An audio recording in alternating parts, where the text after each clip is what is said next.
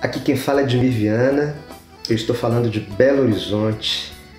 E é com muita alegria que eu também venho comemorar os 20 anos do MNCR. A minha história com esse movimento é uma história que traz muita beleza e muito aprendizado. No ano de 2000 eu voltei de um período de estadia na Europa para trabalhar com a Associação dos Catadores de Belo Horizonte, a Asmari. E no ano de 2001 eu fui convidado para fazer parte de um grande evento que aconteceu em Brasília. Eu trabalhava na Asmari, em Belo Horizonte, como artista e mobilizador, como ator de teatro, músico, compositor. Me recordo bem quando me convidaram para fazer uma canção para os catadores. A inspiração é um elemento que para o artista não vem assim de uma maneira tão planejada. Mas num dado momento eu fiz uma reflexão sobre o nosso dia a dia com os próprios catadores, as idas e vindas com seus carrinhos, os galpões repletos de materiais recicláveis, a resposta ambiental e social que os catadores organizados davam para a sociedade local, né? no caso a capital de Minas Gerais. Então esses elementos da vida, do cotidiano e do trabalho de catadores e catadoras é que de fato foram inspiração para fazer aquela canção. E foi assim, como que num átimo, num tempo muito rápido, eu compus a canção que veio a se chamar O Shot da Marcha do Povo, que os próprios catadores e catadoras consideraram futuramente, né, na sequência, como o hino dos catadores de recicláveis no Brasil. Essa é uma grande alegria. Mas a minha alegria pessoal, ela, ela não, não se dá apenas por este convite. A alegria foi aumentando porque nós participamos então daquele primeiro encontro nacional, que é a primeira marcha nacional dos catadores em Brasília. E eu, como educador, como artista mobilizador, eu tive a felicidade de ver nascer um verdadeiro movimento social no Brasil, cuja força ao longo desses 20 anos vem ecoando pelo, pela América Latina, e por que não dizer para outros países fora da América Latina também.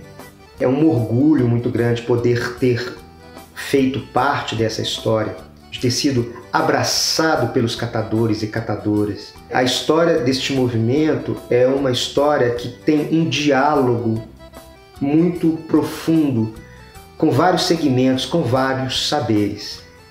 O diálogo com a educação, o diálogo com artistas de várias linguagens, mostrando que a causa dos catadores e das catadoras é uma causa universal e que não tem retorno. É uma causa fundamental para as pessoas que trabalham e para um planeta inteiro. Então eu queria manifestar aqui, neste momento, a minha alegria de poder fazer parte também dessa comemoração. É uma alegria sincera e é um orgulho muito grande porque neste caso as portas foram abertas por este movimento para uma pessoa como eu e outros que são artistas, para fazer o exercício das suas linguagens comunicando com o mundo a poesia que vem do mundo do trabalho cotidiano destes homens e mulheres no Brasil inteiro. Nós que não somos catadores e catadoras, nós devemos nos orgulhar dessa capacidade imensa de se organizar um movimento social num país polarizado, num país que neste momento histórico está em uma verdadeira agonia. Ao longo desses 20 anos, eu percebo que o movimento dos catadores faz com que germine vários conhecimentos em torno dele. por exemplo, conhecimento e participação política como uma forma de resistência vultosa é muito presente. Essa capacidade mesmo de repensar as políticas públicas, a capacidade de dialogar com o poder, com um conhecimento histórico das causas do movimento e do que esse movimento traz como sugestões e possibilidades para as questões ambientais, de modo muito especial nos centros urbanos, onde ainda hoje nós agonizamos com uma população em estado de vulnerabilidade no mundo da economia, no mundo das relações sociais e, de modo específico, no mundo da preservação. Né? O trabalho dos catadores tem essa dimensão da proteção. É inegável que um movimento como esse traz à tona é, um conhecimento vivido, vivido na pele, debaixo do sol, mas também um movimento que se preza por pensar no futuro. Se tivemos um passado de grandes desafios, temos este momento histórico presente como um desafio, sobretudo político, intenso, mas é, esse movimento me faz perceber o quanto que há um olhar para o futuro. E não é por acaso que temos aí já duas décadas de existência, no momento em que uma agonia política se instala, mas essa agonia não abate o movimento. Este é um movimento que dialoga com os diversos espaços de conhecimento, espaços na academia, no mundo da cultura, no mundo das artes e também no mundo da ciência, sempre tendo a dimensão de que lidar com a questão dos resíduos também tem um refinamento dos conhecimentos é, científicos que se colocaram historicamente no nosso mundo. Falar deste movimento é sempre uma, é uma grande alegria, é um, é um orgulho de fato. Muitos artistas passaram e tiveram encontro com os catadores, eu sou um deles.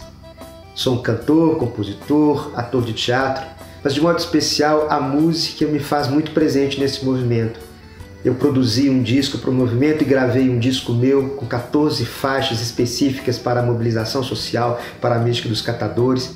E esse trabalho me deu muito orgulho, orgulho para as mobilizações, orgulho de tê-lo em um filme da cineasta Tânia Quaresma, que venceu o Festival de Cinema de Brasília, e nós vencemos com essas músicas o prêmio de melhor trilha sonora. Temos as nossas músicas tocadas nos dias que os caminhões passam pelas ruas de diversas cidades brasileiras para recolher os materiais recicláveis numa coleta seletiva organizada. Então é uma série de acontecimentos e fatos que só me fazem agradecer pela oportunidade de ter estado com vocês praticamente e de que agora, mesmo distante da prática, estando presente no conceito, na alegria de ver este movimento que deve ter vida longa e que as opressões de catadores e catadoras não perdurem, mas que nós miremos sempre as conquistas. Meu carinho para todos vocês, homens e mulheres do Movimento Nacional de Catadores e Catadoras de Materiais Recicláveis. É o carinho do Dimir falando de Belo Horizonte. Quem sabe andar nesta rua vai em frente, pois atrás aqui vem gente, diz o dito popular. Esperança, arrasta o pé, balança a trança, na dança de se chegar. Aqui digo olê, olê, olê, olá, catador de norte a sul. E de acolá, nessa marcha sem parar, caminhar é resistir e se unir é reciclar. Ninguém segura esta gente que trabalha, que grita e fala querendo anunciar possível a luz de um novo dia em que a nossa alegria possa se concretizar. Aqui digo olê, olê, olê, olá, catador de norte a sul e de acolá nessa marcha sem parar, caminhar, resistir e se unir é reciclar. Povo da rua não é do mundo da lua, é a vontade nua e crua, é o desejo de um lar.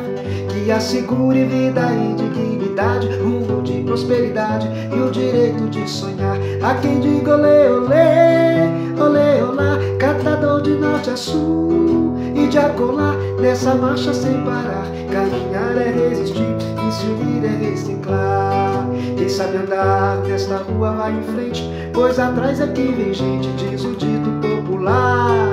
E quem caminha da esperança, arrasta o pé, balança a trança, na dança de se chegar.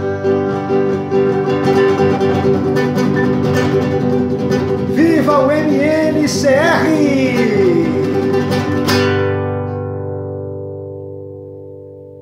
Grande beijo, moçada!